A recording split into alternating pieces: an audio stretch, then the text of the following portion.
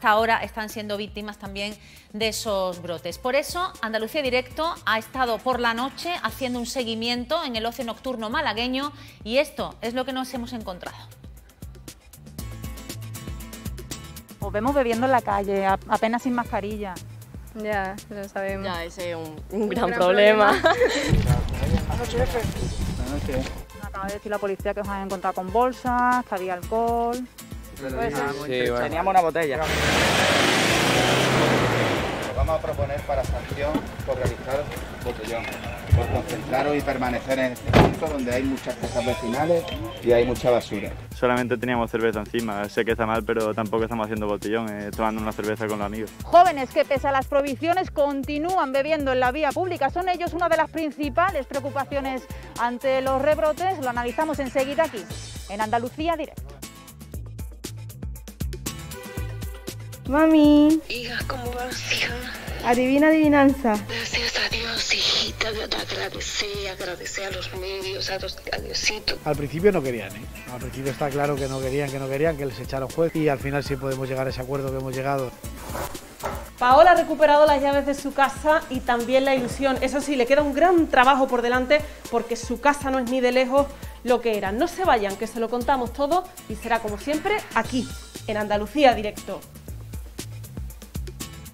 Y de nuevo los incendios forestales están viendo uno de los activos en la provincia de Cádiz. En condiciones extremas están luchando para controlar este incendio de Olvera y según las primeras estimaciones el fuego afecta a unas 450 hectáreas. Los efectivos tratan de sofocarlo, como ven prácticamente metidos entre las llamas.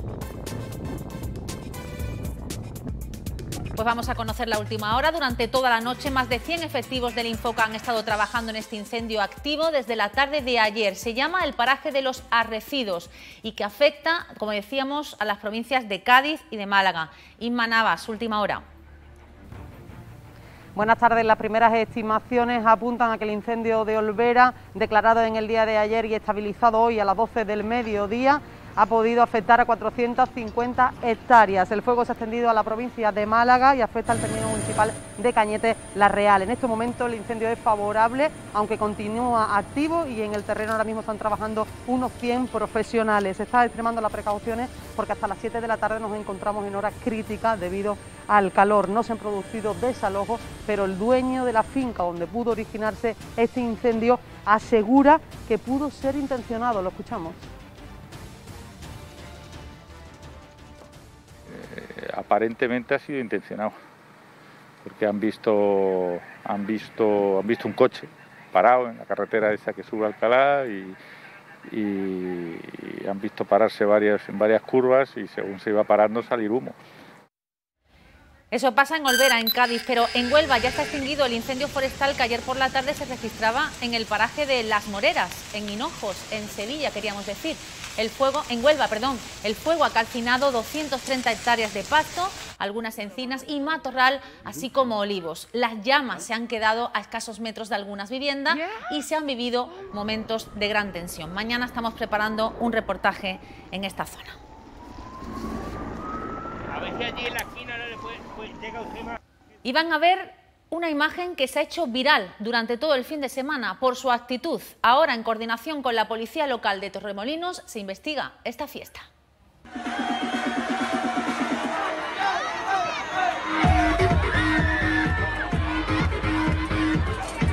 Es el concierto de una discoteca donde un DJ escupe alcohol de una botella a los asistentes sin tener en cuenta el riesgo de contagio. El local cerrará durante 15 días de manera cautelar, según ha anunciado hoy el alcalde de Torremolinos, mientras que el cantante, al que están viendo en las imágenes, se ha disculpado públicamente. A veces uno no piensa lo que hace en un momento de diversión y comete un error imperdonable. Eh, no hay excusa, no hay excusa. Ahora solo queda arrepentirse y pedir perdón de manera sincera. En el momento que finalice el proceso administrativo con el expediente y los informes técnicos correspondientes, pues a partir de ahí se, tramita ya directamente y se ejecuta el cierre automático del establecimiento. Esto es inminente, puede eh, ocurrir para mañana, pasado mañana como muy tarde, se cerrará el establecimiento eh, por dos semanas como cierre cautelar a esperas de que la Junta de Andalucía, a través de su delegación, determine eh, esta concesión, la investigación y el expediente que también tiene abierto. Lo preocupante es que se siguen produciendo brotes en Andalucía. Enseguida vamos con los datos que nos ofrece el Servicio Andaluz de Salud. Son brotes controlados. Por ejemplo, en el hospital seis médicos han dado positivo. Cristina Gil, no son los únicos. Pues no, Paz, la polémica está más que servida en las zonas de ocio nocturno. De hecho, parecen que se han convertido en uno de los principales pilares ante los rebrotes, como ha ocurrido precisamente este fin de semana en Mojácar, en Almería, donde hasta 32 trabajadores de una misma discoteca han dado positivo en coronavirus. Aunque son más los rebrotes en Andalucía este fin de semana, donde hay ya 75 brotes activos, el último de ellos, como bien dices, y probablemente uno de, lo que, los que más preocupa puede ser el de Cádiz, en el Hospital Puerta del Mar, donde hay ya seis médicos afectados. Aunque ahora son los jóvenes los que más preocupan, Paz, y probablemente más que los jóvenes, sus comportamientos en horas de ocio nocturno. Precisamente lo que vamos a ver a continuación es el trabajo desarrollado por este equipo de Andalucía Directo durante la madrugada del sábado, y esto es lo que nos hemos encontrado, jóvenes que aprovechan la intimidad y la oscuridad de los lugares menos concurridos para hacer sus propios botellones. Primera noche de viernes en Málaga desde la prohibición de botellón. Son las 11 de la noche y la imagen que encontramos en la costa habla por sí misma. Os vemos bebiendo en la calle, apenas sin mascarilla. Ya, lo sabemos. Ya, ese es un, gran, problema. es que una discoteca es muy difícil entrar y además ahora con el coronavirus y todo eso es complicado. ¿Creéis que la juventud no es consciente? Sí, somos conscientes, pero nos da igual. ¿Sabes? ¿Os da igual contagiar a los demás? A ver, no nos da igual, pero por ejemplo cuando podemos estar juntos es que tenemos la mínima oportunidad para estarlo. Pero yo creo que es algo que no hay que tenerle miedo, que, que están exagerándolo mucho. O sea, que entiendo que vosotros veis más seguro esto que estáis haciendo aquí. Sí, porque ¿Veis más seguro esto que meteros en un bar? Sí, porque en los bares no hay distancia ni nada. Yo simplemente me vengo aquí a beber por lo que te he dicho, por las aglomeraciones y ya está. Frecuentemente se hace y sobre todo con gente de nuestra edad, pero yo creo que ahora mismo la gente debería tener más cuidado y sobre todo, aparte de que es ilegal, que tendrían que tener más cuidado, sobre todo por las personas que hay alrededor. De todas formas, os vemos a vosotras con 13, 14, 15, 16 años que de 5 o 3 no lleváis mascarillas cuando son obligatorias en la calle. Sí. Sí, porque estábamos aquí juntas sentadas y llevamos aquí desde las 8 sentadas juntas en la playa y no, no la llevamos puestas. 12 de la noche en el centro de Málaga y enseguida vamos a patrullar con la policía local. Nos dicen que han tenido que intensificar la actividad y la vigilancia precisamente por la actividad del ocio nocturno en la zona del centro. Adelante, quedó adelante. ¿Cuántas denuncias lleváis más o menos esta semana? Esta semana, pues, pues, por ejemplo, por mascarillas suelen ser entre 40, 60 por, por noche. Y botellón, eh, eso varía un poquito más porque depende de los grupos que pillemos. Y suelen ponerse también unas 15 o 20 por, noche. Sí, repítame usted el lugar donde se encuentra y qué es lo que tienen allí, por favor. Eh, pues unos 15 jóvenes de unos 20 años. Pues en principio nuestra llegada sin mascarilla y revisando botellón, cerveza y demás.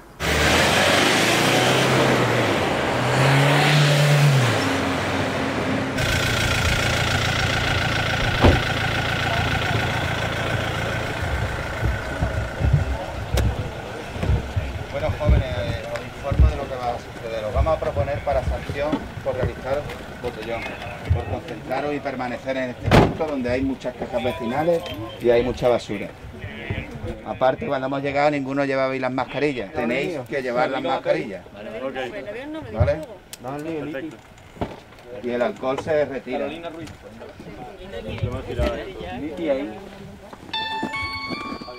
Sí, exactamente. ¿Era vuestra? Sí. sí sabéis que no se puede beber en la vía pública, que está prohibido? Lo sabemos. Lo sabemos. ¿Todos sois menores de edad? Sí, sí, exactamente. ¿Y todos estabais bebiendo en la vía pública? No, no, no, no. no, Algunos, alguna cervecilla y ya está. Sí, cervecilla, tampoco era botellón. Solamente teníamos cerveza encima. Sé que está mal, pero tampoco estamos haciendo botellón, eh, tomando una cerveza con los amigos. ¿Os sorprende a vosotros este tipo de comportamientos todavía hoy en día? Bueno, la verdad es que son chavales, jóvenes, hace mucha calor, el mes de agosto, están reunidos, pero con el tema que estamos viviendo estos días, pues es menos apropiado estas cosas, sobre todo. Buenas noches, jefe.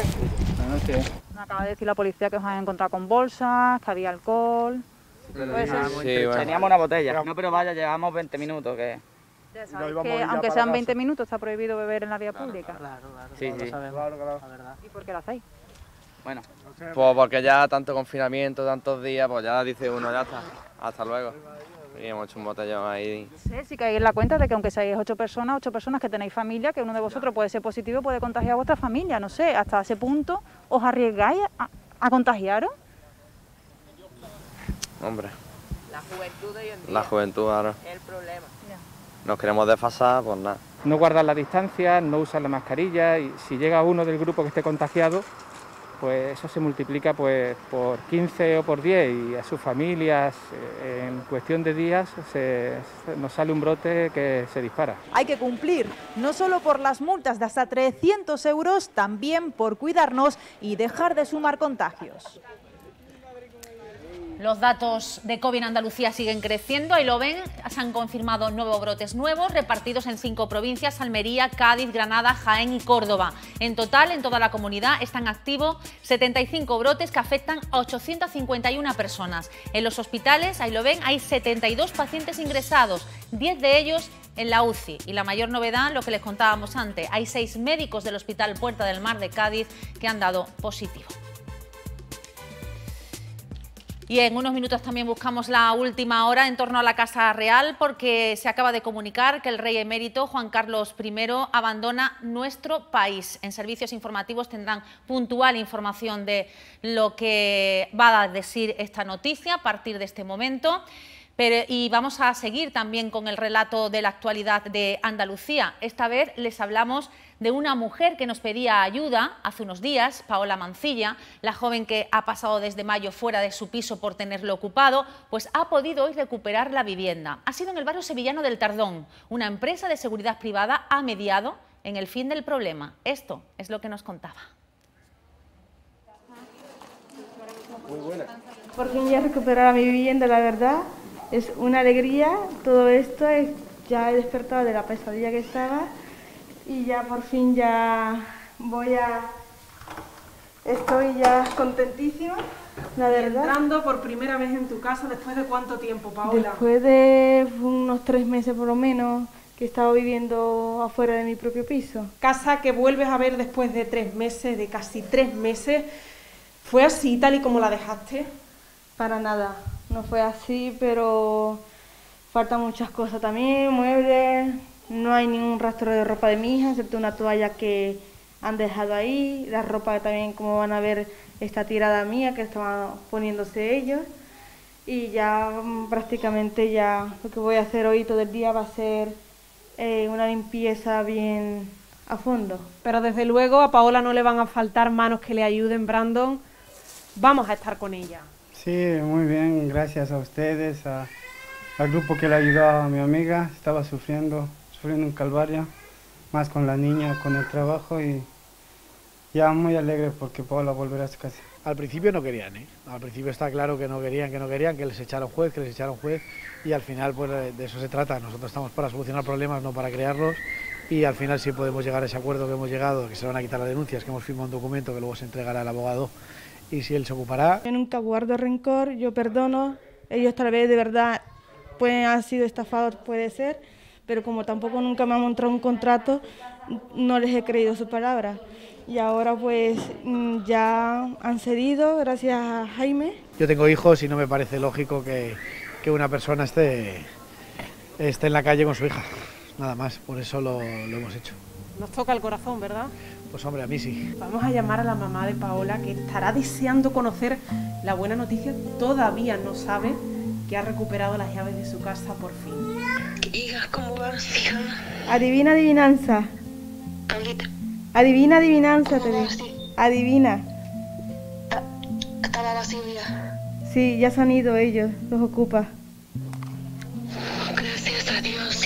Agradecer, agradecer a los medios, a, los, a Diosito, diles muchas gracias por el apoyo Sí, a, la, a la ahora empresa, mismo, ahora a mismo. los canales, a todos los que te han entrevistado, a toda, toda la gente que te ha apoyado. Estoy emocionada, estoy feliz, estoy contenta que mi hija se ha sentido respaldada de una manera o de otra por todos ustedes, por todos los canales, por todos los medios, y que mi, mi hija y mi nieta puedan estar eh, en su casa. Eso es lo que más feliz le hace a usted hoy, ¿verdad?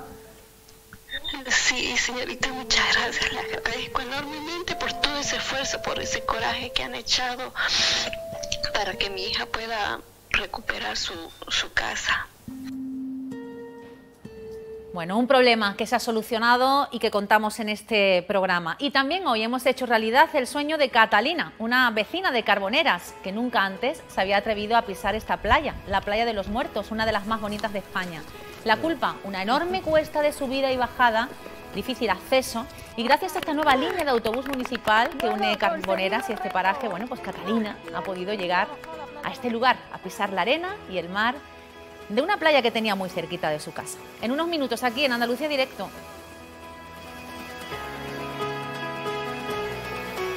Oye, si fuera hetero y me volviera gay te parecería estupendo, pero...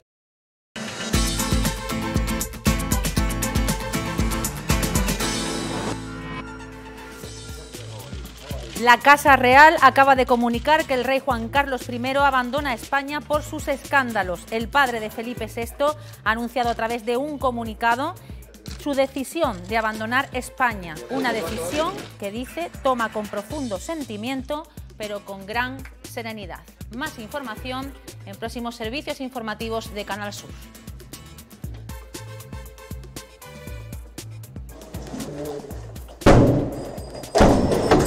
Quieto, quieto, quieto.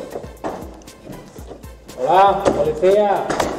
Y están viendo el momento en el que la policía local de Málaga detiene a un hombre por agredir a su pareja y tirarla de la silla de ruedas. Una vez en el suelo, supuestamente siguió golpeándola. Los agentes han tenido que entrar a la fuerza en el domicilio. El hombre, de 28 años, se había escondido en una de las habitaciones y tras ser detenido pasará a disposición judicial en las próximas horas. Son imágenes que nos ha facilitado la policía local de Málaga.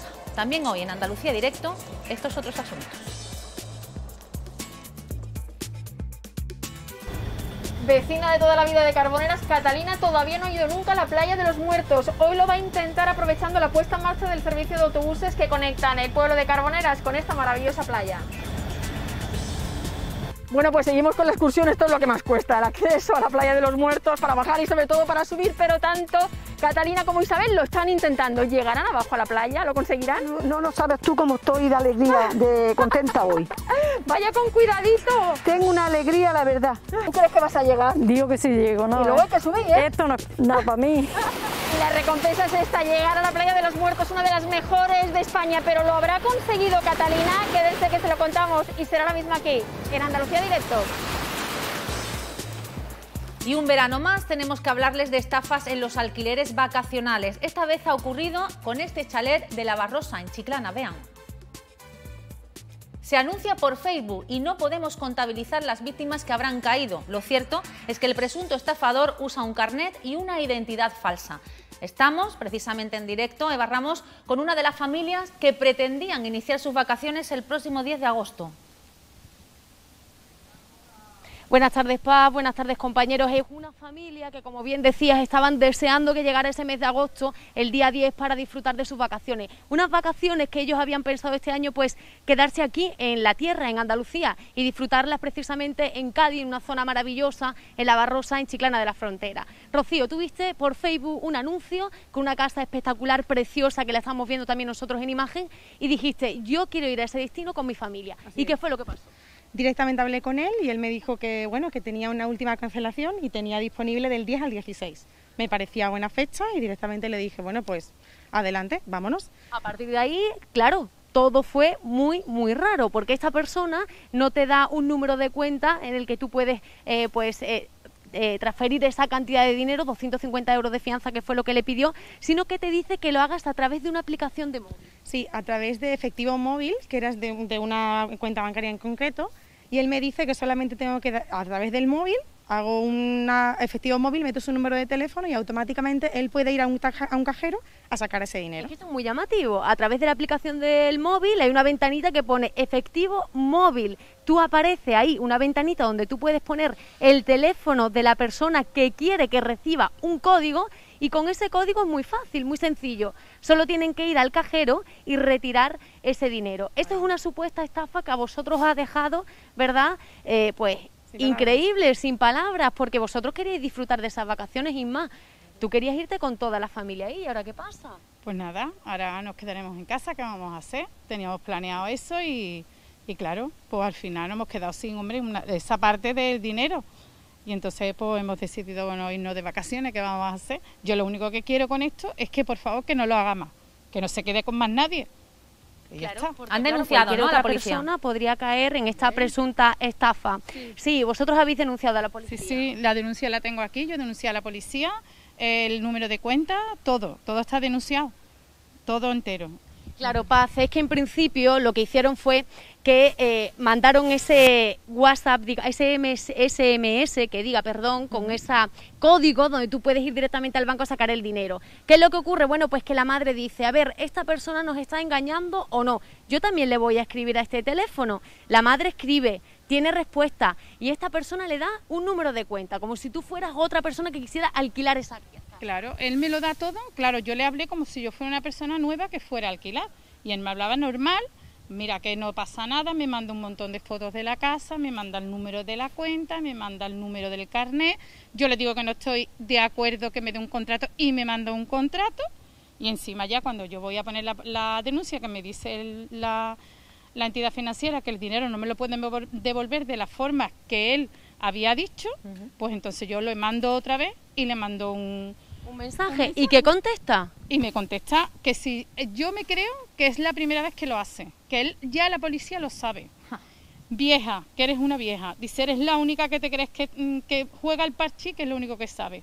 Y encima el tío se, se cachondea de mí. Mm. Porque la familia Paz se queda sin vacaciones, no solo ellos, el padre, la madre, la hija, el hijo, el... Lo cambió las vacaciones, porque no le tocaba las vacaciones, las cambió país. Claro. Y nada, ¿qué vamos a hacer? Claro, es que según hemos podido nosotros comprobar, Paz, es que la cantidad máxima que puede sacar del cajero son 300 euros. Entonces esta persona parece ser que anda con esa picaresca y dice, bueno, pues la cantidad que me tienes que enviar son 250 euros. Juega con ese dinero porque mayor cantidad tampoco podría ser. Es una familia, como bien decimos, que se van a quedar sin vacaciones y que tiene un objetivo esta tarde. Que por favor, que no les pase a más gente, que tengan muchísimo cuidado. Paz. Gracias, Eva. Ese es el propósito de este directo precisamente, porque a lo mejor recuperar el dinero, poco en este caso, menos mal que no ha sido más, pero que no le vuelva a pasar a la gente. Bueno, pues muchas gracias ¿eh? a esa familia, lo sentimos mucho desde aquí, desde Andalucía Directo. Bueno, vamos a hablarles ahora de los vecinos de Los Yeso, en Granada. Tienen dos calas que aparecen y desaparecen según haya levante o poniente. Llevan años pidiendo a Costas que la acondicione para impulsar el turismo local y evitar así que la gente del pueblo se vaya. Esta es su denuncia. Los Yesos duplica a sus vecinos durante los meses del verano, llegando a los 300 habitantes, un precioso pueblo de la costa tropical granadina que se queja de no tener playa. Elizabeth, tú eres concejal de medio ambiente del ayuntamiento. ¿Y cuál es el problema que tenéis exactamente? ¿Qué pasa en este pueblo de playa? Bueno, pues exactamente, como bien dice, un pueblo de playa tenemos dos pequeñas calas, la cala de la ermita y la cala de, de los granadinos. Dependiendo de si hace levante, si hace poniente, pues tenemos un poquito más, un poquito menos. No podemos guardar distancia de seguridad, la playa se masifica y una pena, un desastre. Hace cuatro o cinco años Costa hizo este espigón aquí, como podéis ver, pero vamos, que esto no sirve de absolutamente nada. Hace unos 15 días aproximadamente el mar llegaba hasta aquí, fíjate. Y no tenemos, vamos, ¿dónde poner la sombrilla? Si es que no tenemos ninguna franja de tierra ni de arena para poner la sombrilla. El agua se mete en la ermita, es que llega a la ermita. A una vergüenza que un pueblo de costa no tengamos playa a esta altura. Pilar, hoy tenéis la suerte de que hay playa y podéis poner la sombrilla y disfrutar un ratito aquí, ¿no? Pues sí, yo soy de aquí de toda la vida y vemos como el pueblo se va perdiendo y para los organismos pues no existimos. Llevamos años luchando por, dos pequeñas calas que con poca inversión serían seguras, suficientes para, para vivir un poco del turismo. Horrible, no, no se puede, ni siquiera con los zapatos. Yo si no vengo con alguien acompañada y tengo la casa aquí enfrente, soy incapaz de poderme meter. Y aquí hay mucha gente mayor y es un problemón. Hasta ahí hemos llegado, ¿no? Hasta aquí hemos llegado, es horrible. Cuesta un montón. Bueno, como hay piedra, me, piqué con tres erizos aquí eh, mismo en la playa, hace tres días, y tengo los pies hinchados. O sea que no es nada agradable bañarse aquí. No, eso es cierto. Desde el ayuntamiento cada año invertís en echar tierra para que esta playa sea una playa, pero... Pero no es suficiente. Es un gasto que hacemos al ayuntamiento, además un ayuntamiento pequeño, y no es posible. Lo que estamos reivindicando es que Costa de una vez por todas, pues bueno, que alargue el espigón, que haga un proyecto debidamente y en la condición de esta cala y la cala de los granadinos. Esa tierra la echan hoy, mañana viene la ola y como no hay defensa se la vuelve a llevar. ¿Y qué nos queda? Nos queda esa, esa piedra que ha venido, que no está lavada, y son cortes. Los niños se meten y son cortes lo que, lo que sacan. ¡Ah! ¡Que me!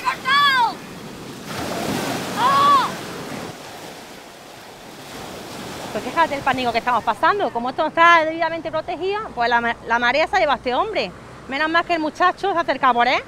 Vamos. Y ha pedido socorro, ¿eh? Míralo ahí. Sí, socorro, el pobre. ¿Le empuja la corriente o qué ha pasado? empujaba allí contra las piedras. y ya gracias a la ayuda de Hugo. El héroe, ¿qué ha pasado? Caí para esa roca hay corriente, te cuesta nada y te lleva. Te arrastra ahí. A ver, su marido el susto que se acaba el de susto que se ha llevado y fíjate que él nada de maravilla, además él es de aquí de los Yesos, aunque falta ya 45 años, pero el susto es que ahí la ola lo arrastraba. Cangrejeras más que preparadas para poder meterte en la playa. Sí, porque si no en esta playa sería imposible poderte meter en el agua. Pero es cierto que nos gusta mucho porque buscamos que no haya nadie. Y así os quedáis sin playa un día sí y otro también. Exactamente. Este programa se ha puesto en contacto con Costas para preguntarle por posibles actuaciones en los yesos, pero por ahora no ha obtenido respuesta. Bueno, y más de playa. Esta vez les hablamos de una mujer de Catalina que a sus 62 años eh, de Carboneras ha hecho realidad un sueño, pisar por primera vez la playa de los Muertos, considerada una de las más bonitas de nuestro país. Y todo gracias a una nueva línea de autobús que une Carboneras con esta playa. Lo cierto es que la hemos acompañado y así ha reaccionado al ver su playa.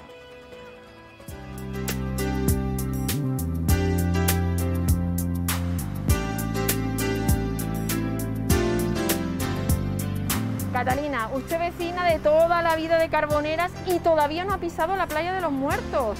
Todavía no la he pisado, pero si Dios quiere, hoy la voy a pisar.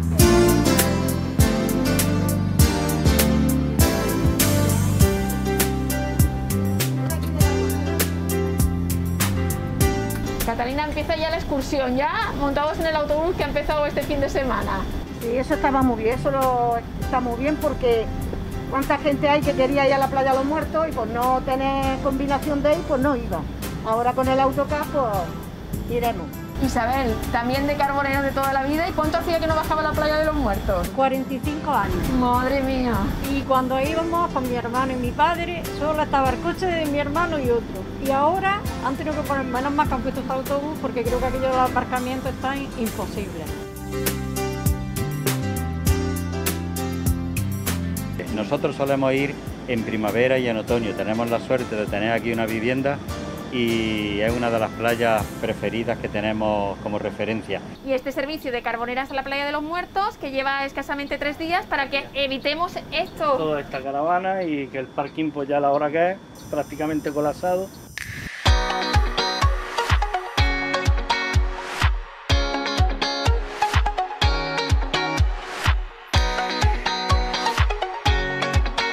Se va viendo por ahí, aunque nos queda un poquito. A poquito a poco voy a bajar. Bueno, le da ilusión a usted. Uy, que este- si me hace, no lo sabes tú cómo estoy de alegría, de contenta hoy. Vaya con cuidadito. Tengo una alegría, la verdad, Vaya con cuidadito. de bajar la primera vez a la playa de los muertos. Pues la verdad que esto está ya ya, no para cuando yo venía, que tenías que bajar ca- casi, casi a gata. Sí. Esto es nada. ¿Tú crees que vas a llegar? Digo que sí llego, ¿no? Y luego hay que subir, ¿eh? Esto no es nada para mí. Esto no es nada, ¿no? ¿No ves que yo me crié en cuesta?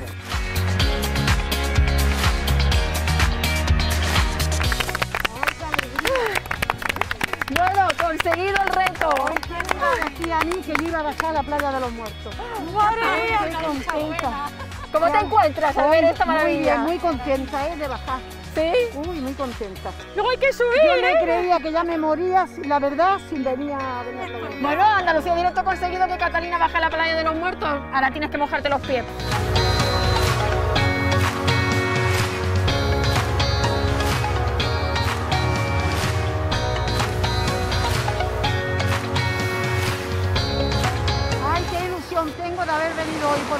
Preciosa. Es más bonita que yo lo pensaba. ¿Sí?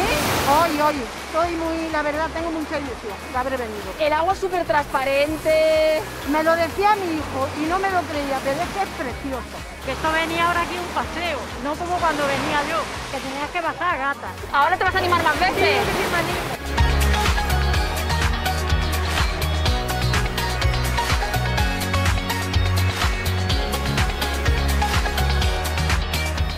menudo baño te has dado en la playa de los muertos.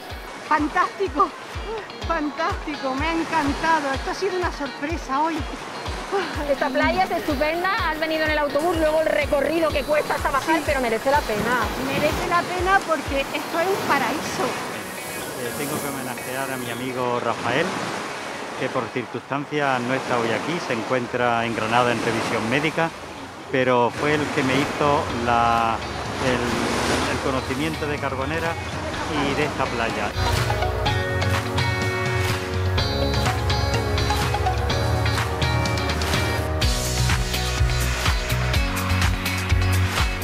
Alberto, venís de Almería, habéis aprovechado el servicio de autobús, luego la bajada, pero esto merece la pena, ¿eh? Merece, merece mucho la pena y lo del autobús, la verdad es que es un, es un acierto porque, porque facilita mucho eh, por lo menos llegar hasta aquí, que ya habéis visto el parking cómo está y te quitas un problema de encima y ya solo nos queda disfrutar de, de la playa. Eh, muy bien, me gusta. ¿Sí? Está fresquita. Sí, pero muy transparente. Aunque a Catalina le ha costado, el esfuerzo se le ha olvidado en el momento que ha podido contemplar por primera vez esta maravilla de playa. No en vano, la playa de los Muertos, ubicada en el Parque Natural Cabo de Gata Níjar, es una de las más bellas de España.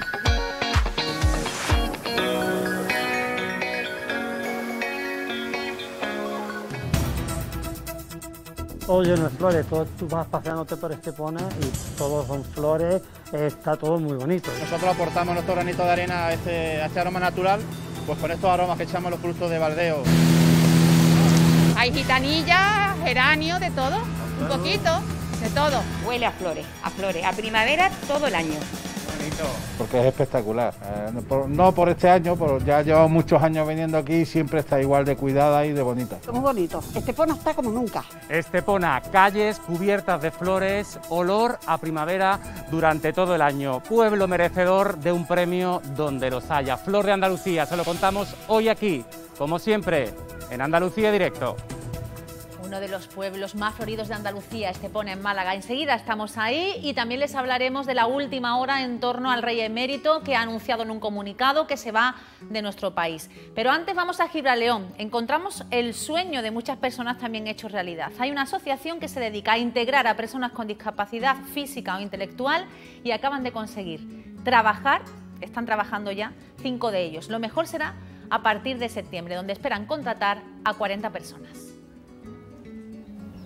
Son muchos años de lucha, de sacrificio los que lleva la asociación Propio Impulso de Gibraleón para la integración de personas con discapacidad. Están en todos lados, van recorriendo el mundo haciendo que te sientas raro. Los sueños no descansan, siempre quieren más. Desde el año 2010 que nosotros entramos en la directiva, hemos hecho numerosas actividades para buscar fondos, eh, un equipo de, de orientación psicológica para realmente eh, darle a estos eh, a este colectivo pues eh, la importancia que se merece y ya eh, conseguir el centro especial de empleo y darle de verdad una vida plena y una vida autónoma pues ha sido para nosotros el mayor logro que hemos podido tener. Un convenio de colaboración entre administraciones públicas y empresarios de frutos rojos que consiguen que los usuarios de esta asociación se sientan realizados y contentos por tener la oportunidad, dicen, la que se merecen. ¿Cuántos años tienes, Aitana? 19. ¿Y es tu primer trabajo? Sí, es mi primer trabajo. ¿Te gusta? Me encanta. Aunque tengamos una discapacidad, tenemos límite, pero podemos trabajar. Tener una discapacidad ya es un inconveniente, pues que mi hija, por ejemplo, hoy esté trabajando, eso supone pues un logro conseguido como madre y para ella, para su futuro y para mi tranquilidad. Llevamos casi tres años con este proyecto hasta que al fin ha podido salir. Y que nos den esta oportunidad de trabajar en nuestro pueblo y que, ya que por desgracia tenemos una discapacidad, pues por lo menos que nos sirva para algo bueno. No es fácil montar una empresa de la noche a la mañana, hay muchos imprevistos, muchas cosas a tener en cuenta y cuando ves el fruto, pues uno se, se enorgullece. Se enorgullece. Han empezado cinco personas, pero sí se estima poner otra, otra máquina, otra cinta aquí y arriba, en la zona de arriba, se intentaría, bueno, o se está proyectando una etiquetadora para que así, eh, a finalizar el año, eh, se presume que puede haber unas 40 personas con discapacidad trabajando en el Centro Especial de Empleo. Que esto no es solamente el, estar aquí, que esto es una oportunidad para salir a otros sitios y a otras empresas. Hemos tenido siempre que pelear mucho más eh, conseguir, por conseguir lo que todo el mundo tiene. Y entonces para nosotros es no solo ya un logro personal, sino em, una satisfacción de poder eh, reclamar algo que, que nos merecemos. Cerrar los ojos siempre es lo primero. Si tengo un sueño me lo como entero. Así se cumple, ya no puede escapar. Esa es la verdad. Eso es lo De la fresa a la sal, que fíjense, se cultiva en una salina de interior en Córdoba, en Albendín, una pedanía de Baena, María, y nos dicen que es una de las sales más codiciadas por los chefs españoles, ¿es verdad?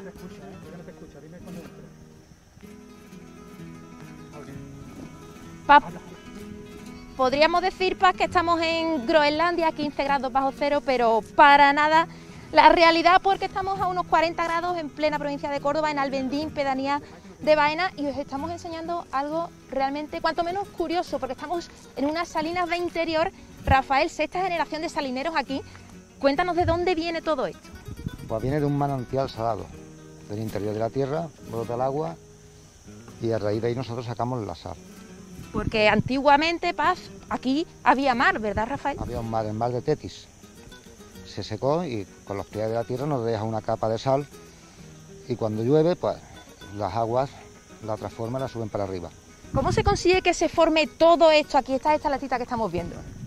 Esto no se puede decir tampoco el secreto, ¿no? Si no, todos lo harían. Es el secreto de salinero, ¿no? Es secreto, cada uno tiene lo suyo.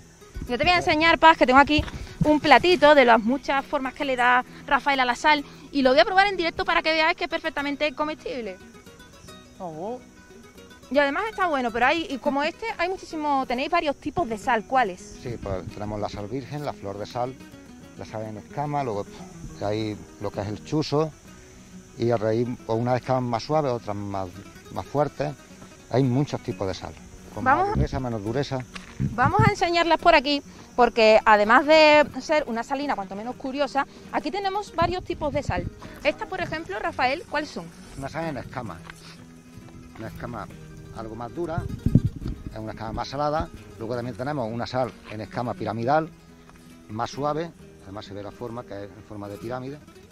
Estas son más suaves y a, raíz de ahí cada uno por lo que pida. Normalmente solemos hacer lo que nos piden.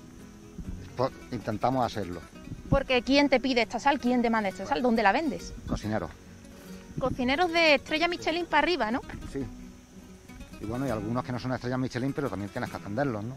¿Qué precio podía, podría rondar un kilo de sal de esta? Mm, esta ahora mismo ronda bastante, pero vamos, intentaremos ponerla sobre los 50, 100 euros como máximo. 50, Rafael, ¿tiene algo que envidiarle esta sal que vemos aquí, todas estas estalactitas, a una salina de mar que pudiéramos encontrar, yo que sé, en San Fernando, por ejemplo? No, al contrario, eh, las salinas de mar tienen más que envidiarnos a nosotros. Esta, de hecho, está considerada una de las salinas más importantes de toda Europa. Dicen, pero vamos, eso ya cada uno lo... Para mí sí. ¿Y qué proceso tiene de, para elaborarla, para sacarla, para conseguir que se formen platitos como este? Pues paciencia.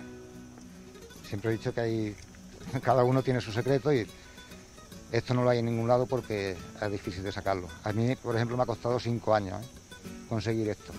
Y aquí, en este caso, solo se hace en verano, por la temperatura. Solo en verano, solo. En invierno, por las aguas y los fríos, pues no cuaja la sal. Aunque esta a partir de 25 grados cuaja. ¿Tienes relevo generacional, Rafael? Algunos hay.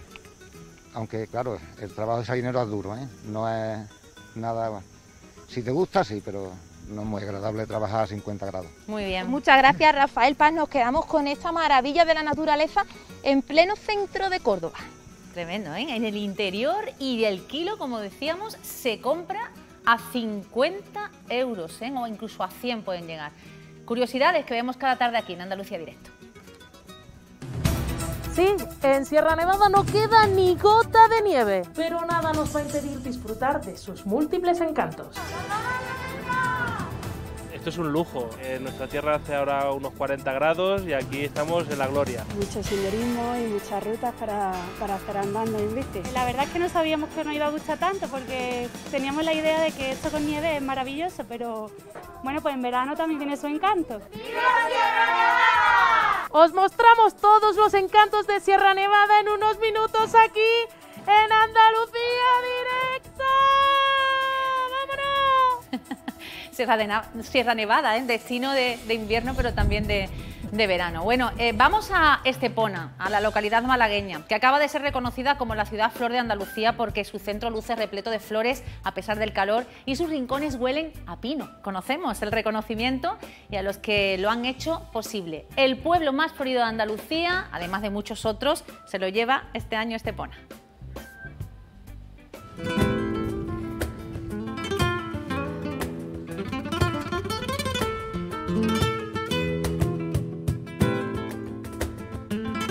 Porque el eso agua la limpio.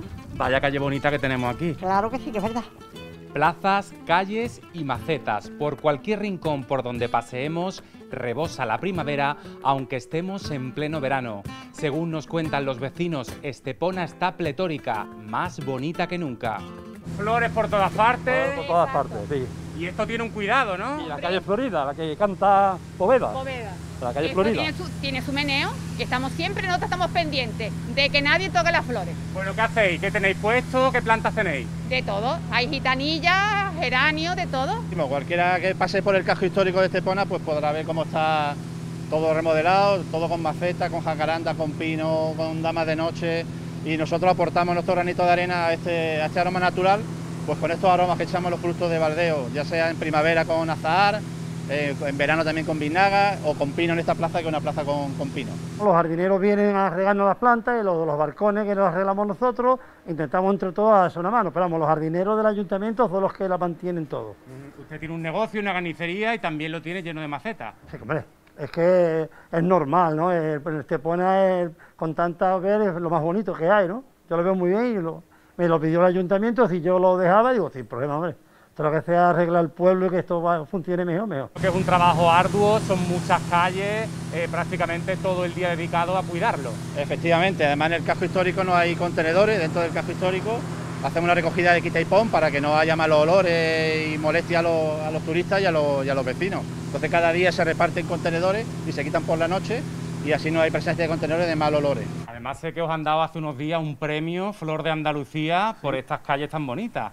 Hombre, nos merecíamos no una flor, nos merecíamos una maceta entera, porque esto es todo lleno de flores. Todo, tú vas paseándote por Estepona y todos son flores, está todo muy bonito. Además os dieron el viernes un premio, Sí. la Flor de Andalucía. Exactamente. Por algo será, ¿no? Hombre. Pa' aquí, flores hasta dentro de los patios. En todas partes. En Estepona, en todas partes. Qué maravilla de sitio. ¿Ha visto? Sí, sí. Bajar y ver tu rinconcito, tu terracita para tomarte una cervecita o un cafelito. Esto es un encanto, la y verdad. asomarnos a los balcones y poder disfrutar de toda esta belleza. Sí, pues sí. Traerse la cámara de fotos que, que hace falta en estos sitios. La verdad que sí. ¿Y qué dice la gente cuando viene y ve esta calle? Hombre, la ve porque viene mucho fiesterío. Ahora vienen menos porque la cosa no está para que venga. Pero vamos, viene. La verdad que es una alegría poder caminar por aquí. Sí, sí, sí, sí, con una alegría. Porque es espectacular. Ya llevo muchos años viniendo aquí y siempre está igual de cuidada y de bonita. ¿Y qué les decimos a la gente para que venga? Que venga Estepona, que es lo mejor del mundo entero. Huele a flores, a flores, a primavera todo el año. Así que no lo olviden, Estepona es el lugar donde todos los días huele a primavera y este año más que nunca se ha convertido en la flor de Andalucía. Estepona, en la costa de Málaga y en el interior de Huelva, en la serranía de Arcena, ahí tenemos su castillo ¿eh? que corona el pueblo. Estamos en un lugar de estos de ensueño que nos gusta enseñar aquí, Lorena. y además ya con las hermosas vistas lo dice todo. ¿eh? Y es que hoy Pazo queremos mostrar una alternativa diferente al turismo de costa y por eso bueno, pues nos hemos venido a la Sierra de Aracena y Picos de Arocha, un hotel con mucho encanto en el mismo pueblo de Aracena, en contacto con la naturaleza, que apuesta paz por el arte y sobre todo por una gastronomía de lo más innovadora. Buscan clientes que buscan esto, paz, tranquilidad y unas vacaciones algo diferentes. Enseguida te cuento por qué. Aquí, Enseguida, en estamos ahí. Claro que sí, en Aracena, en la provincia de Huelva, pero vamos a pasar también por Sierra Nevada, que decíamos que es un destino de invierno, pero también del verano, ¿eh? Mira cómo lo ha comprobado nuestro equipo de Granada. We get it almost every night. Esta es la cara menos conocida de Sierra Nevada, la que no tiene nieve, pero para sorpresa de muchos ofrece más actividades incluso que en la época de invierno. Santi, este es el punto de partida de nuestro día de actividad en Sierra Nevada. ¿Dónde estamos ahora mismo?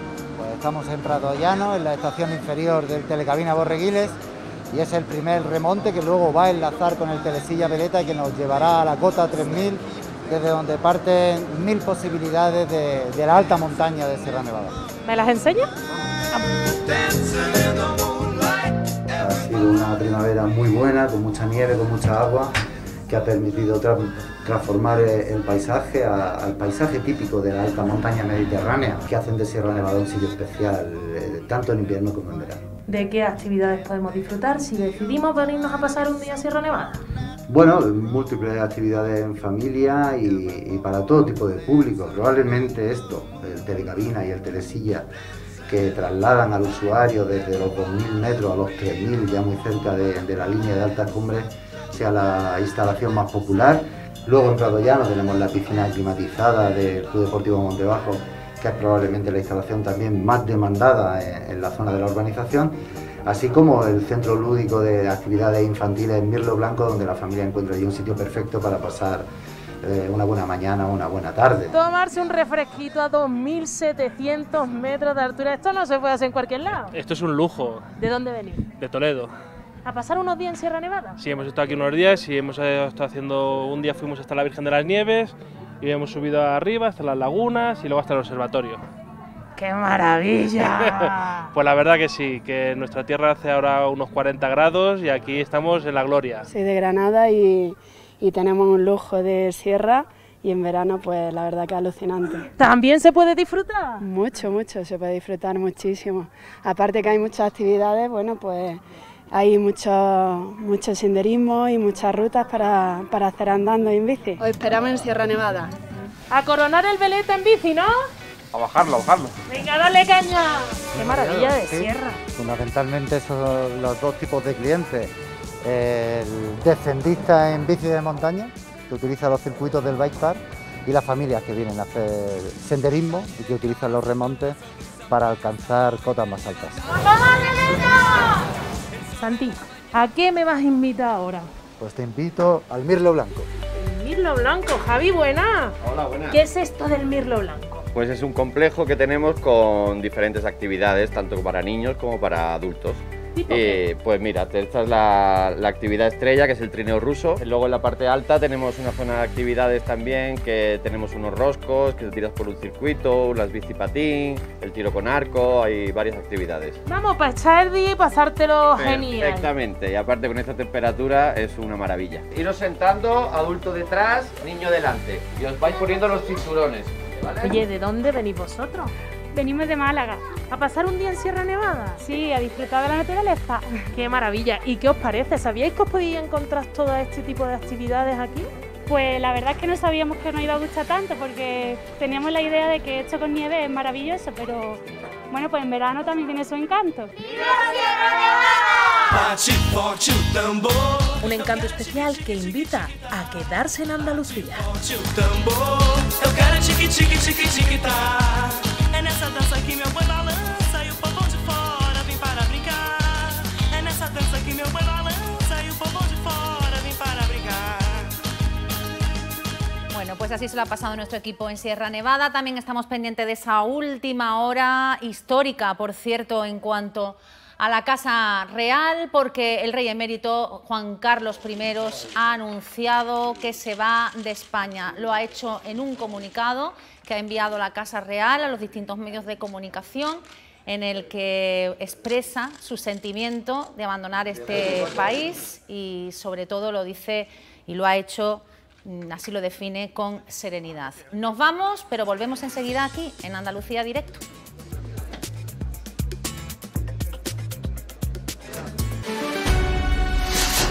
Este miércoles, nuestra...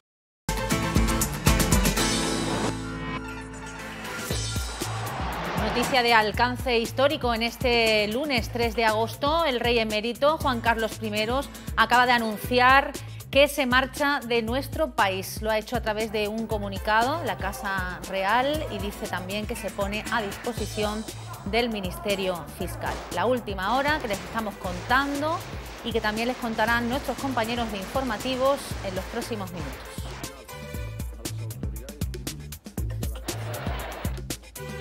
Red Solidaria en Sevilla. Personas, propietarios de apartamentos turísticos, como es el caso de Vitoria, ceden gratuitamente a personas con cáncer estos apartamentos para que puedan recibir su tratamiento.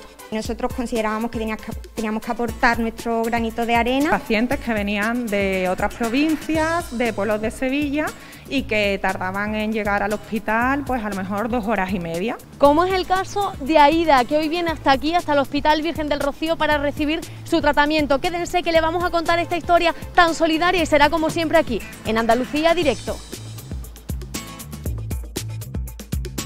La verdad que es un mundo donde se puede entrar fácilmente. Empecé con apenas dos euros, que realmente eso es, una mínima cantidad, lo que pasa es que cada vez va más, va más y sin darte cuenta. Pues he perdido hasta unos 9.000 euros. Es evidente que han medido muy bien dónde lo van a situar, porque saben que aquí va a haber clientela y clientela desesperada por sobrevivir. Tenía nada más que cuatro máquinas, se va a convertir, va a convertir en un mini bingo y cuatro, cuatro terminales de apuestas. Este es el salón de juego que en breve se convertirá en una casa de apuestas aquí en Cádiz capital. La preocupación de los vecinos de este barrio lo vamos a contar todo hoy aquí juntos, como siempre, en Andalucía Directo.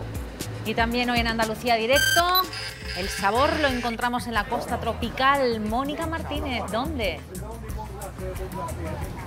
¿Cómo lo sabes, Paz? Pues estamos en la Dorada de Plata, en el centro de la costa tropical, en Almuñécar, en una casa que es casi, casi, casi la nuestra, porque Paco nos trata como amigos cada vez que venimos. Y mira lo que tenemos ahí. Yo le había puesto, no sabía qué nombre ponerle, le iba a poner Paz y Modesto, pero para no levantar susceptibilidades le pondremos Paco y Mónica. ¿Qué tenemos aquí, Paco? Muy rápido. Rubio, pargo, ¿Eh? La rubia tú, el pargo Modesto. gambas, gambas, pollo y lubina. Todo eso lo vamos a hacer luego de alguna manera u otra que te vamos a dejar alucinadísima y lo vamos a disfrutar con este señor que es un señor maravilloso y que tiene una historia detrás, pa.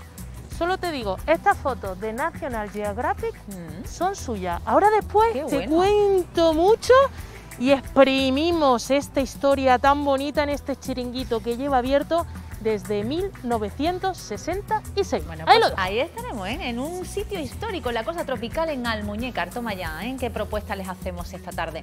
Bueno, vamos a Cádiz. Los vecinos de la segunda aguada no quieren más casas de apuestas en el barrio. Lo consideran una amenaza para los más jóvenes y para sus familias. La apertura de un nuevo salón de juego a 200 metros de dos centros escolares no les gusta. Esto nos cuenta. Los jóvenes son los más vulnerables ante la casa de apuestas y sino que se lo cuenten a Alejandro. Alejandro, con tan solo 17 años empezaste en este mundo de la casa de apuestas.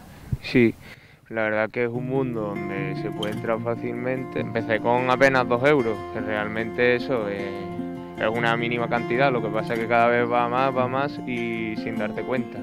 Pues he perdido hasta unos 9.000 euros. Ahora cuando te enteras que abren nuevas casas de apuestas, ¿qué, qué sientes? ¿Qué piensas? que nada, es un problema para la población porque al fin y al cabo eh, es fácil que cualquier joven pueda entrar y, y la verdad que es bastante complicado, bastante complicado salir. Y cualquier joven puede estar jugando ahora mismo y que los padres no lo sepan. sí. Cuando ibas a esas casas de apuestas, nadie te decía nada, que eras menor de edad. No me pedían ni DNI ni nada. ¿Cuánto ha sufrido tu familia? Pues la verdad que bastante, ha sido un tema duro para todos y, y eso y gracias a Proyecto Joven pues lo hemos superado, la verdad. ¿Tienes claro que no volverás a jugar? No, no, 100% que no. No, no creo que es una cosa que me haga falta en mi vida, la verdad. De esa casa de apuestas a este salón de juego, donde en breve también se podrá apostar, hay tan solo 30 pasos y los vecinos están muy preocupados. El problema de las casas de, de juegos y, y apuestas que están proliferando en toda España, igual que en Baleares o Canarias, es un problema que, que está haciendo movilizarse a uno de los colectivos más importantes en una ciudad, como es el colectivo vecinal. Antonio, usted vive justo en el edificio donde se encuentra esta sala de juegos que en breve será un salón también de apuestas. Ajá, efectivamente, yo vivo en el cuarto piso desde se hicieron las, las viviendas. He protestado, he bajado al bar a las 12 de la noche, he hablado con los dueños, he llamado al ayuntamiento, he llamado a la policía que me cuelga y he, dicho que no es soportable lo que se forma en esa acera y en la puerta del bar, porque además entran y salen todo tipo de personas, incluso menores. A menos de 200 metros de esa nueva casa de apuestas que está en reforma y en breve abrirán, encontramos el Colegio Profesor Juan Carlos Aragón y también el Instituto Rafael Alberti. Miguel Ángel, tú eres director del colegio, ¿estáis preocupados por esta nueva apertura? Hombre, claro que estamos preocupados. Una barriada que, que está muy dañada por el tema del paro y aparte que, que ya había una, porque tienen que poner otra. Es una preocupación porque los jóvenes del instituto en cualquier momento puedan cruzar las aceras que están a, a escasos metros. Están a escasos 150 metros y el problema es que la población adolescente ahora mismo es la más vulnerable ante este tipo de, de sitios porque es una población que vive en la sociedad del consumismo, en la que ganar dinero fácil y rápido es lo que prima. Nos consta que alumnado nuestro ha entrado eh, siendo menores de 18 años y es evidente que han medido muy bien dónde lo van a situar, porque saben que aquí va a haber clientela y clientela desesperada por sobrevivir. Y desgraciadamente cuando uno está desesperado busca cualquier solución. Esta es una casa de apuestas, es un negocio de tapaillo, de, de puertas cerradas, que lo único que se vale es de la, de la mm, falta de economía que puedan tener algunos, algunos vecinos y que piensan que en el juego pueden encontrar su solución a sus problemas. Esta era una cafetería, salón de juego, que aquí te lo podemos indicar, ¿eh? que tenía nada más que cuatro máquinas, se va a convertir, va a convertir en un mini bingo y cuatro, cuatro terminales de apuestas. No se concibe como en un barrio, con la densidad de población que tenemos aquí, puedan tener dos salas de, dos, dos salas de juego y de apuestas. Estamos todo el mundo indignado. Nadie queremos eso porque es un nido de vicio, la verdad que sí, que hay muchos niños. Nosotros hemos hablado con el Ayuntamiento de Cádiz y nos dicen que todo está dentro de la legalidad. La licencia de ese salón de juegos les permite convertirse en casa de apuestas. Bueno, pues se lo venimos contando durante toda la tarde. El rey emérito don Juan Carlos I ha anunciado que se marcha de España, que se pone a disposición del Ministerio Fiscal. Ha sido una decisión serena. Lo ha dicho en un comunicado emitido esta misma tarde por la Casa Real. Son imágenes del rey emérito. Ahora se quedan con más información con nuestros compañeros de los servicios informativos de Canal Sur Televisión.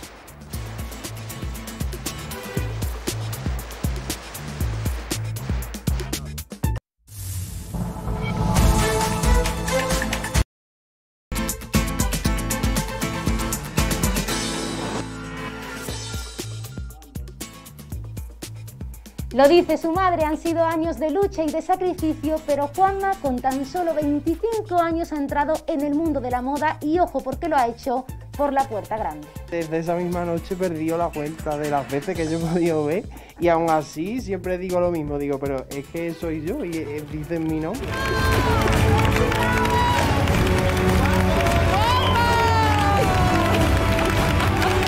Como loca, como loca saltando de alegría. Es que lo, lo, que él quería hacer desde pequeñito. Y todavía no lo habéis visto, queda mucho por ver, tiene mucho escondido. Ganar el concurso de la aguja flamenca ha sido un verdadero sueño cumplido para él. Enseguida lo celebramos juntos aquí, en Andalucía Directo.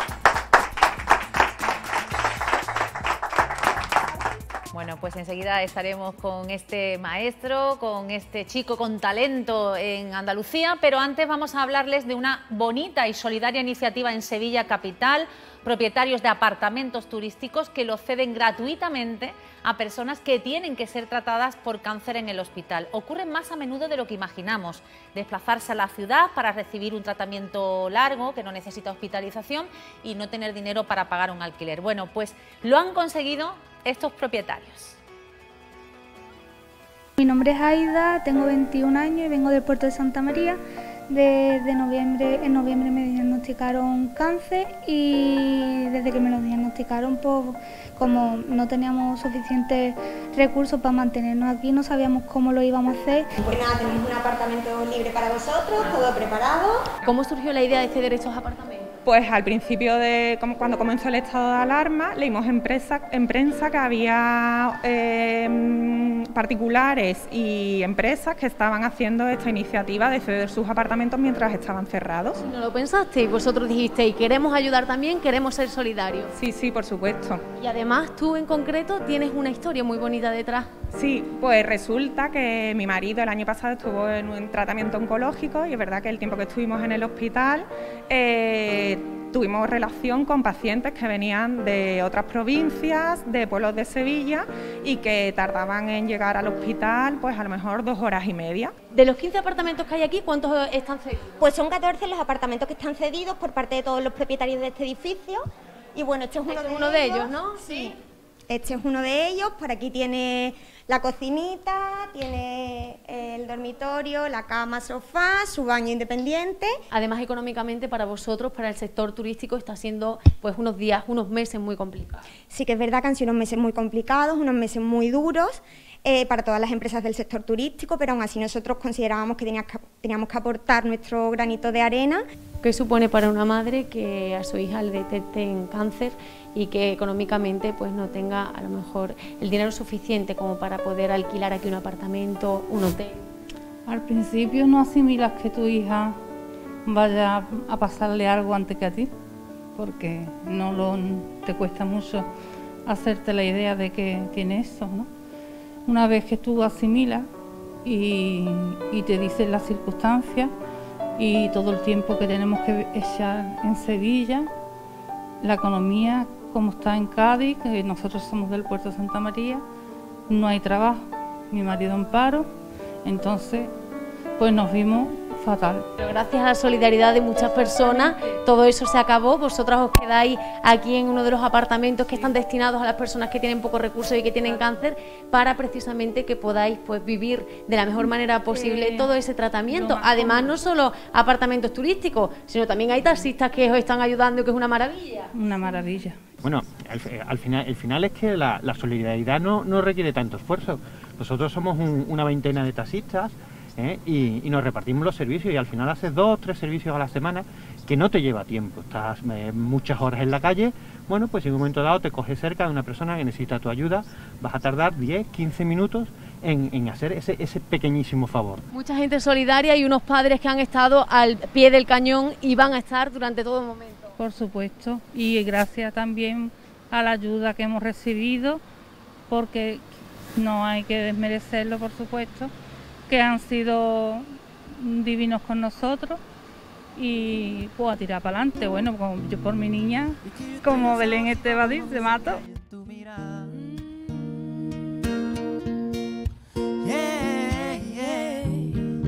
Dulcito de coco.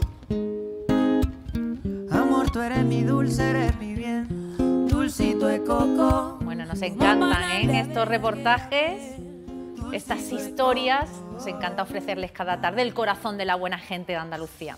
Bueno, seguimos con nuestras vacaciones porque nos quedamos en Andalucía y queremos seguir conociendo y curioseando sitios curiosos. En Aracena, hoy en Huelva, esto es lo que nos propone Lorena. Hay que ver paz. Fíjate qué curioso, porque este hotel se creó hace unos cinco años, un sevillano que además es un apasionado de Aracena y del arte, como estás viendo, porque lo estás viendo es una escultura, un corazón de mimbre, y es que dentro del hotel hay, un, hay toda una galería de arte donde todo, Diana, se puede comprar. Exactamente, en nuestro hotel, aquí en Aracena, en el Hotel Esencia, Tenemos pues eso, una galería de arte, tanto esculturas como cuadros, que si queréis podéis visitarlo, también se puede comprar. Tenemos pues, como podéis ver, muchísimas, muchísimas esculturas, cuadros y intentamos eso, apostar pues pues Por los artistas exacto, andaluces y de aquí de Aracena. Sí, de aquí de la zona, de, de Andalucía en general. Y la verdad que estamos muy contentos, la gente lo visita mucho, es muy curioso, tiene pues muchas, muchos cuadros, muchas cosas con mucha alegría, con mucha luz. Estamos en un sitio verde, un sitio con mucha claridad, con... Eso sí también te iba a decir, el turismo de sierra está creciendo y sí que es verdad que se nota porque vosotros en nivel de ocupación estáis a tope. A tope, tenemos nueve habitaciones, estamos ahora también ampliando eh, con cinco habitaciones más y estamos súper contentos, la verdad, porque estamos llenos, la gente está muy contenta, venimos a la sierra, respiramos aire puro, podemos tener una buena gastronomía diferente, con diferentes productos de la sierra, tanto... No sé, muchas bueno, cosas. Sí que es verdad que veo que el el hotel es muy pequeñito, que eso pues, también por lo que apostabais, ¿no? Porque sobre todo fuera un hotel tranquilo, sobre todo para familia, para pareja. Sí, eh, está eso, como le comentaba, tenemos nueve habitaciones con ampliación de cinco más. Tenemos una especialidad más bien para, para familias, para parejas los fines de semana. Cocina incluida y todo. incluida. Y la verdad, pues sí, estamos muy, muy contentos, tenemos muchas cositas diferentes. Algo que me encanta también, Diana, es que respeta Paz el espacio natural de Aracena donde nos encontramos. Exacto, intentamos integrar lo que es la naturaleza del lugar dentro del hotel, que cuando entras dentro del hotel no te parezca frío, sino al, al revés, un sitio pues cercano, agradable, fresco, con luz, con, con ganas de, de estar en él y disfrutar de él. Esa es la Además, la ubicación, ¿no? Paz, es estupenda porque está en pleno mitad de la sierra prácticamente. Estamos a cinco minutos prácticamente del casco histórico y la verdad que es genial. Estamos muy, muy bien ubicados, te queda todo cerquita, la Gruta de las Maravillas, el Museo del Jamón, hay muchas cositas que visitar y estamos muy cerquita. Bueno, 100% de ocupación en este hotel y otra cosa que me llama la atención y que quería recalcar, Paz, era su gastronomía tan innovadora y tan peculiar. Porque claro, apuestan por los productos locales de Aracena, pero buscando ese toque exótico que tanto al cliente le gusta para estar de vacaciones. Pues sí, nosotros tenemos una gastronomía diferente, intentamos utilizar siempre productos de aquí, eh, sobre todo andaluz, de la sierra y de, de- de- de la provincia de Huelva. Aquí tenemos un rato, el buen jamón, la carne. Exacto. Y la verdad que intentamos eso, eh, innovar, no que sea siempre lo mismo, sino todo con cariño, con ganas de hacer cosas diferentes. Ahora mismo, por ejemplo, mi compañero os está mostrando una sopa de fría de menta y melón, muy fresquita para el verano. También tenemos un postre, una tartita de limón con Mm. base de cheesecake, muy rica, muy fresquita. Qué rico. Bueno, pues ya saben que además de que el cliente se vaya con ese buen sabor de boca, que disfrute de hermosas vistas y sobre todo que apuesten por el turismo de aquí, por el turismo de Andalucía, de Sierra y de Andalucía. Así es, Lorena. Bueno, pues Salud a brindar, claro que Salud, sí, porque sigan ocupándose nuestros hoteles, nuestros restaurantes y la gente siga disfrutando de nuestra tierra. Continuamos en Andalucía Directo. Yo soy el obispo y el pecado, y estoy pasando un calor como en el infierno. Hola, soy la condesa de Albox y le invito a que pasen por Cantoria y pasen unos días formidables. Es un pueblo exquisito.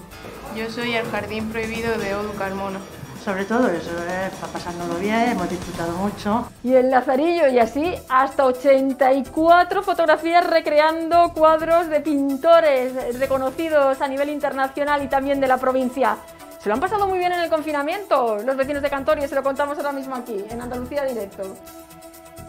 Y la actualidad a esta hora de la tarde nos reclamas en el puerto de la Caleta de Vélez, en Málaga, donde a esta hora hay una concentración para apoyar a la familia del marinero que desapareció en un naufragio el pasado 8 de julio. Cristina Gil, ¿qué están pidiendo?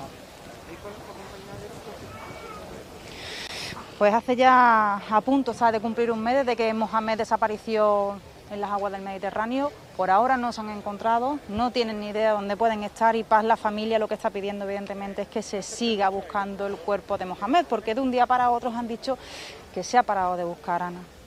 Sí, de momento solamente una semana después de que desapareciera Mohamed en aguas de Alborán, eh, dieron una llamada a los barcos que faenaban por la zona, pero no lo estaban buscando de forma activa.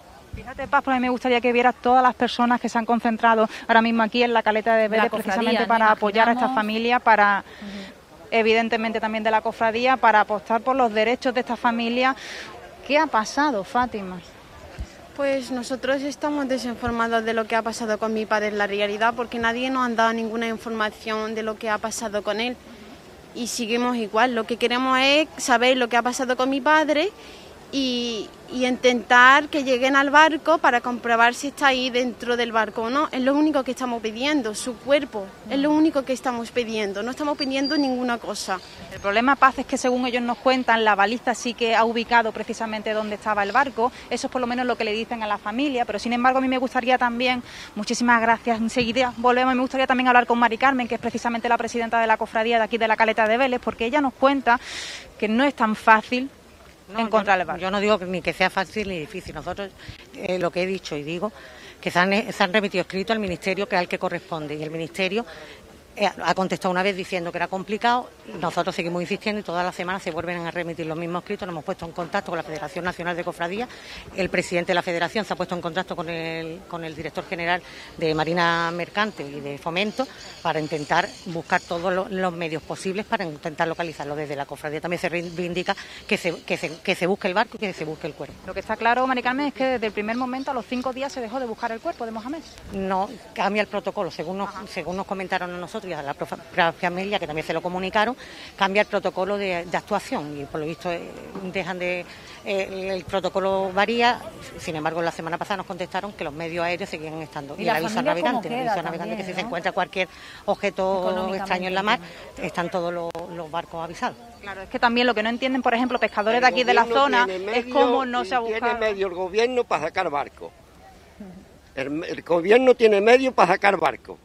Y hay medio para sacar barcos. Precisamente esa es la indignación de los vecinos que se encuentran ahora mismo aquí, pues, en la caleta de Vélez, porque ellos no entienden, marineros, experimentados, expertos, no llegan a entender cómo se ha producido esto. La familia ahora mismo se encuentra en una situación desamparada. Según nos contaba Ana, pues apenas tienen que vivir de la caridad de los vecinos, de la amabilidad de los vecinos de aquí, porque esto es un dato a tener muy en cuenta hasta que no apareciese, en cualquier caso, el cuerpo de Mohamed, no podríais cobrar la pensión de viudedad. Fátima. Sí, eso es lo que nos han dicho, de que si no encuentran el cuerpo de mi padre no tenemos derecho a nada. Eso es lo que reclamaba antes Ana. Un Bueno. vecino de aquí, 40 años en el mar, y que se tengan que encontrar su familia en una situación así de un día para otro.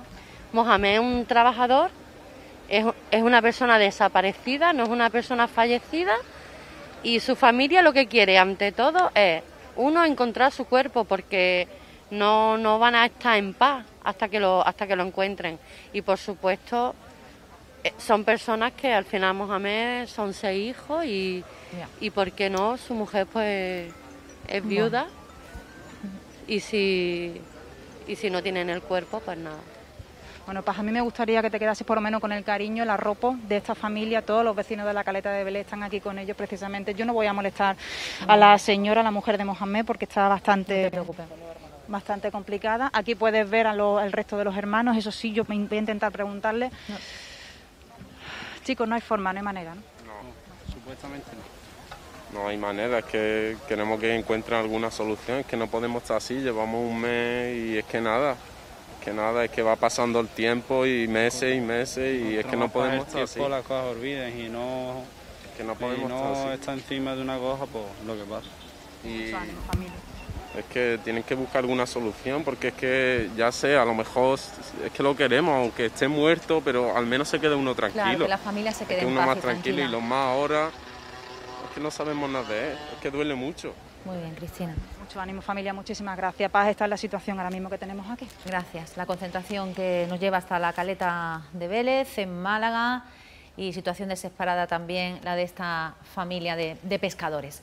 Bueno, vamos a cambiar de asunto. Durante el confinamiento, los vecinos de mm, este pueblo que van a ver a continuación de Cantoria no se aburrieron ni un minuto. ¿eh? Se dedicaron, entre otras cosas, a recrear cuadros famosos, una forma divertida de pasar el tiempo y aprender arte.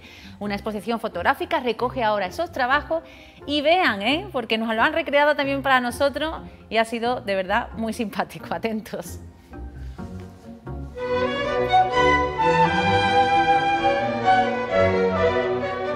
recrean La Niña Leñadora. Y así, hasta 84 obras de arte distintas de pintores afamados a nivel internacional y de la provincia. Fotografías con las que los vecinos de Cantoria han hecho más amena la época del confinamiento.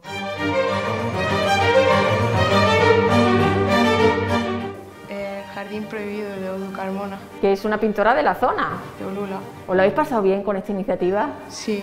Bueno, acá. Sí, sí, se está bien, pero hace mucha calor.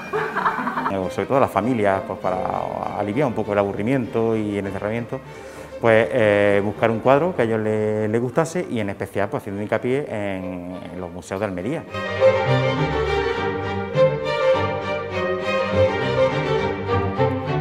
¿Te cansaste mucho con el brazo? Sí, mucho. Sí. ¿Y dónde estabas? ¿En la terraza? Sí, en la terraza, pero hacía mucho sol y le tenían que poner la sombrilla. Con esto de que hemos tenido el confinamiento y ahora las precauciones que, de- que debemos de, de tomar todos. Es una forma pues, distinta de, de pasar los días, de pasar las tardes.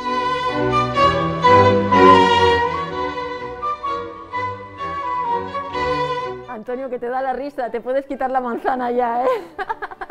¿Cuánto tiempo llevas mordiendo manzanas? Pues bastante rato, sí, llevo ya media hora larga aquí mordiendo la manzana. Tú eres el sacristán del pueblo Sí, soy yo, sacristán del... y estás haciendo El obispo y el pecado de García Ibáñez. Vaya, ¿Y qué tal la experiencia? muy bonita, muy buena, me ha gustado mucho, Sí, ¿te cuesta meterte en el papel? Un poquillo. ¿Y el calor qué me dices? Sudando, voy sudando. Bueno, tú también participaste en un cuadro, ¿en cuál? Sí, era La Gitana de Francisco Rivera y la verdad que me encantó la experiencia.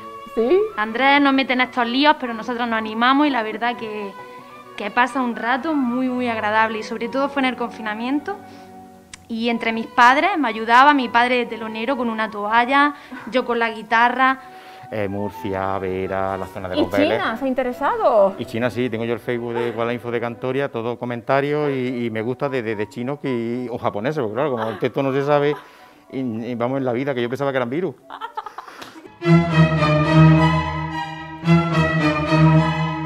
Venga, el codo pegado, la mano así, está el dedo abierto, Vaya esto día me así. Ni un té frío me ha traído. Venga, el escote bien, el pie está bien, todo. Excelentísima condesa de Albox, me arrodillo ante usted. Menuda fotografía. ¿Le gusta? Estoy bien, llevo aquí toda la mañana esperándola. ¿Le gusta usted que me arrodille, no? Me encanta, es lo que más me gusta, me gusta que esté todo el mundo a mis pies. ¿Y el servicio? El servicio, guay, lo llevo. Ay, ¿y el zapato? Porque me han dicho que el zapato... El zapato no lo mueve usted mucho porque si lo saca se queda con él. ¿Y el de postín? El de postín. Pero bueno, es que lo, eh, lo tenía en el zapatero. Sole, ¿qué tal la experiencia? No lo estamos pasando pipa, muy bien. En el papel de condesa. Muy bien, sí, sí, pasando calor. Los dos Josés, abuelo y nieto, en Lazarillo, José abuelo, en el confinamiento hizo esta foto que le costó tela, ¿eh? Vaya, pero bastante. ¿Qué recuerda usted? ¿Cuánto tiempo estuvo? Pues buscando en los, los baúles de mi eh, padre y todo para buscar toda esa ropa. Como durante el confinamiento no se podía ir a los museos, se han llevado los museos a cada casa gracias a esta original iniciativa del Centro Guadalinfo de Cantoria, un auténtico museo vivo.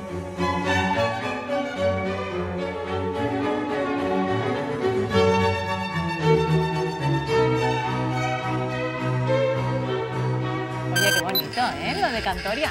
¡Oh, bonito esto! Mónica Martínez, que tú le estabas poniendo hasta nombre a los pescados antes. Ya estamos en Almuñécar para Mira, que nos gusta una barca, Bueno, bueno. ¿eh? Guay, que me encanta, que me encanta una barca. A, a mí me gusta una barca con esas brasas, vamos, que quita el sentido, pa. Aquí te estoy esperando yo, aunque se te hayan acabado las vacaciones, las del año que viene las organizamos de otra manera.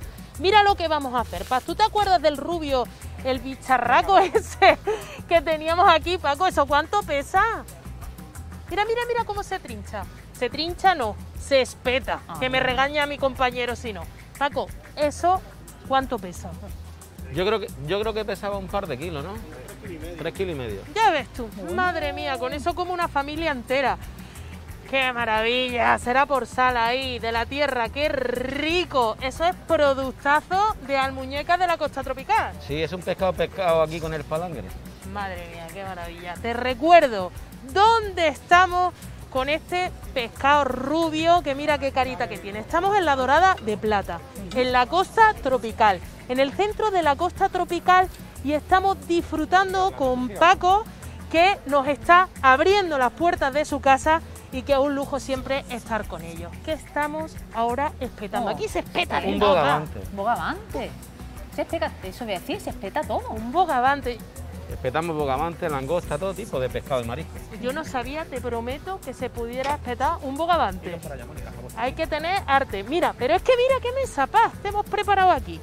A ver si viene mi compañero y enseñamos. Paco, vente por aquí más o menos conmigo, que ya sabes tú que esto de las distancias hay que conservarlas. ¿Qué tenemos aquí? Madre mía, cómo voy a poner esto. Eh, ve explicándome, Pues Paco. mira, hoy hemos hecho una paella de arroz negro. Sí. Un timbal de mango y aguacate. Uy, qué rico de la costa tropical. La, forma de presentar la ensalada tropical aquí en vuestra casa, ¿verdad? En la dorada de plata. ¿Qué más? Hemos hecho una caldereta de pescado y marisco. Buenísimo. ¿Qué más? Una un, un cóctel de gamba con piña. Pero mira qué bonito, por favor. Si dan ganas de comérselo nada más de lo bonito que es. Una paella de marisco. Sí. La típica fritura de pescado. Bueno, la típica, pero mira qué carita tiene, vamos. Esos chanquetes están para darle un abrazo, hacemos ¿sabes? grandecita. Uy, qué rico. Y de postre un culán de chocolate con helado de naranja. Vamos, para quitar sentido. Gloria bendita, para lo que te ofrecen en esta casa. Siempre que Paco, vamos a la costa A mí tropical me gustaría saber hay un color en los directos. Es verdad, lo reconozco. Hombre, pa, pues claro, cosas de la tierra, el mango, el aguacate, la todos esos elementos tropicales que nos gusta presumir además y mucho de nuestra tierra. Que dice Paz que cada vez que viene a un directo que le encantan los colores que ofrecen los alimentos. Ah, claro. Son ecológicos además. Para que veas tú. Oye, a mí me gusta mucho, Paco, tu historia. Eh, en 1966 tu madre abre este chiringuito. Sí, Tú sí. decides quedarte con él y cambiar tu vida radicalmente hace apenas 5 o 6 años, ¿verdad? Sí, hace 5 o 6 años. ¿Y de dónde venías tú? Yo era fotógrafo de naturaleza. Sí, señor.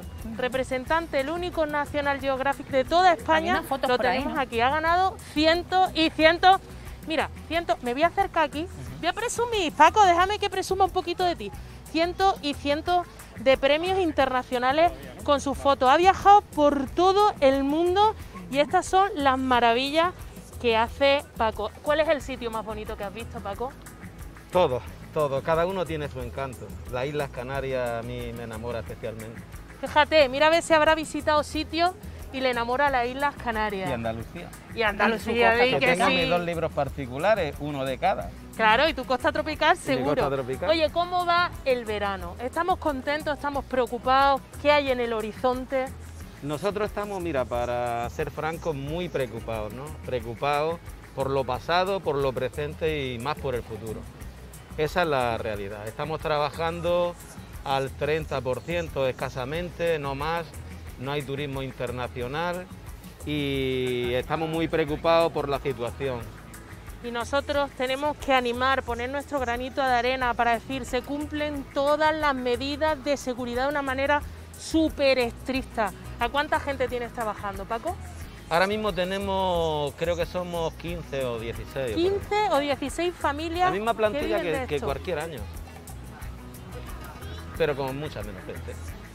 Tenemos que venir de nuevo a los bares, tenemos que disfrutar de nuestros productazos locales, ecológicos, de proximidad, que son una auténtica locura. Paco, ¿cuál es la especialidad en tu casa?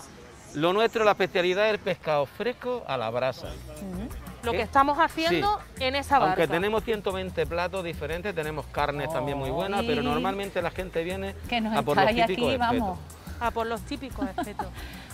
bueno, Paz, pues, ¿qué vamos ver. a hacer? Pues quedarnos, quedarnos en Andalucía. Paz, hay que quedarse aquí, hay que apoyar a nuestra gente, apoyar a nuestros negocios, nuestros restaurantes y nuestros bares y disfrutar de toda esta maravilla con toda la medida de seguridad. La distancia, la higiene, etcétera, para disfrutar estando a gustito, como en tu casa. ¿A que sí, Paco? Claro que sí. Estamos esperando que vengáis a vernos. Bueno, pues gracias, Con los ¿eh? abiertos. Gracias por acogernos de nuevo en esa costa tropical, en Almuñeca, en este chiringuito magnífico donde se puede comer y pasarlo en grande. Bueno, y hoy con esta noticia que nos ha sorprendido, Juan Carlos I ha anunciado a su hijo, el rey Felipe VI, su decisión de trasladarse a vivir fuera de España ante la repercusión de ciertos acontecimientos pasados de su vida privada. Fiscales españoles ya están investigando sobre los supuestos fondos del rey en paraísos fiscales. Ha sido sin duda la noticia de este día. Nos vamos mañana más aquí en Andalucía Directo.